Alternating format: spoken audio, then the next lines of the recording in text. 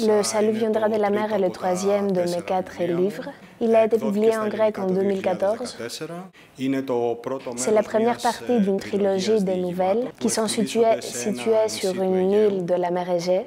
C'est une île imaginaire, c'est-à-dire que c'est une île qui n'existe pas, c'est une île que j'ai créée moi-même en prenant certaines parties d'autres îles euh, que j'ai pu moi-même voir. Ce qui relie toutes les nouvelles du livre, c'est le conflit qui existe entre les gens, les personnes autochtones des îles et des Grecs qui arrivent de la Grèce continentale et qui s'installent sur euh, cette île.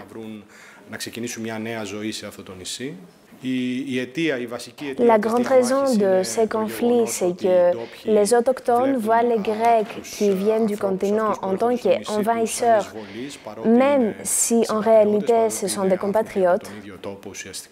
Et ce qui m'a le plus intéressé dans ce livre, c'était de pouvoir explorer la question de qu'est-ce que c'est que d'être étranger dans son propre pays.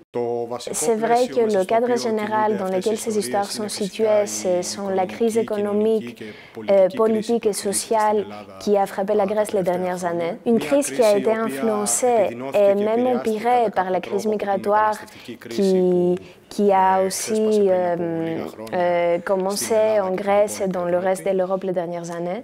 Le cadre de, ces histoires, les personnages de ces histoires, ce sont des Grecs, mais plusieurs des, plusieurs, beaucoup de lecteurs ont déjà compris qu'il y a beaucoup de choses, beaucoup d'éléments qui ont quelque chose à voir, qui font référence à la crise migratoire, mais généralement à, la, à, une crise politique et aussi euh, sociale et culturelle euh, dans l'Europe les dernières années. τα τελευταία χρόνια.